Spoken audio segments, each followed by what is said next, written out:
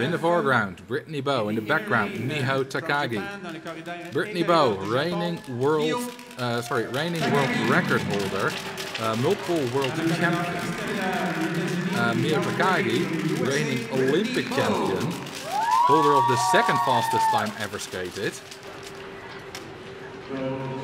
Both have held the sea level world record in the past. This is just endless, endless medals and other statistics for these two. Ready. Takagi definitely has the better season though.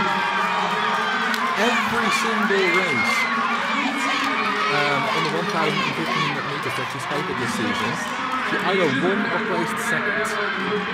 Bowe still top 6 on the 1000 meters every time. Hasn't been yet. 17.85 for 17.88 for Those are good overlaps and.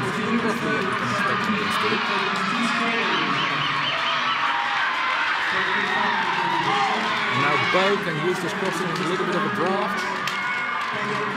To take Takagi on the ringer, maybe take a few meters, but it looks like Takagi is taking those few meters. Bowe will have to hurry front of Takagi.